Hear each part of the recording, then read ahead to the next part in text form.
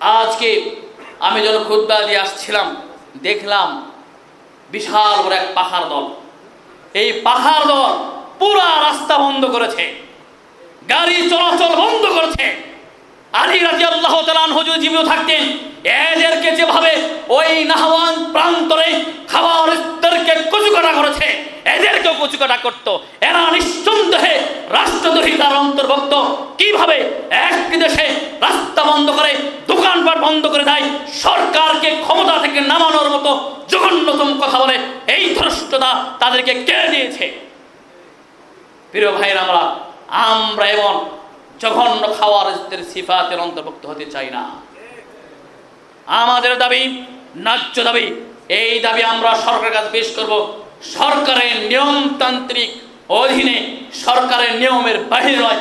ইনশাল্লাহ একদিন একদিন আমাদের দাবি বাস্তবায়ন হবে। বাইতুল মোকরম আলমে যদি খুতবা দিতে পারে, আমরাও খুতবা দেবো। ইনশাল্লাহ অচিরেই দেবো ইনশাআল্লাহ। এর জন্য আমাদের যুবক ভাইদেরকে এবং অলামায়ে রব্বানিদেরকে ঐক্যবদ্ধ হতে হবে। যদি আমরা বিচ্ছিন্ন হয়ে থাকি, কখনো সম্ভব নয়।